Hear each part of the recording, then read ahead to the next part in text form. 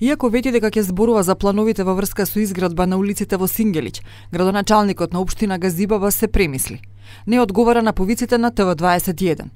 Пред да го изберат жителите за градоначалник, ги критикуваше локалните власти дека молчат и не работат. Локалните и државните институции молчат и воопшто не се ги извршиле своите надлежности. А сега и самиот тој молчи, но на социјалните мрежи може да се види што ветил градоначалникот на оваа општина пред три години. Пред три години откако беше избран за градоначалник на Газибава, вети дека ќе асфалтира секоја уличка. Со решавање на останатите инфраструктурни проблеми од типот на асфалтирање на локалните патишта во Но населбата Сингелич е изгледа заборавена од општинските власти.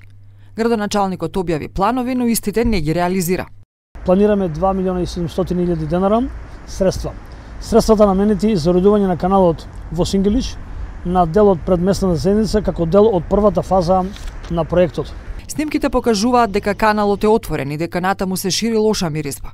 Тој канал го покриеме, а направиме нов ободен канал кој што и земјоделските површини, и инфраструктура и самата а, собраќајна а, собраќајница Северна би ја заштителе од а, такви неповолни катастрофи доколку би се појавиле. Жителите го гледаат градоначалникот само кога тој го бара нивниот глас пред избори. И бојм апел a ti krijatori që na i murë votat, kur ishte vakti për votime, do me thonë bërqës, komunës, që Edhe ne jemi njerëzi sukur ata në tonë. Halli i jonë është ajë se lagjet ku banojnë shqiptarët është njësoj si ato edhe lagjet e Kandaharit në Afganistan.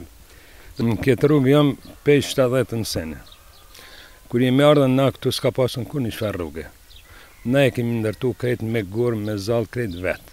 Dali Gjorgjevski kja dubje do virbata na građanite na gazdibava za ušteden mandat. Ostanuva da vidime za nekoliko meseci.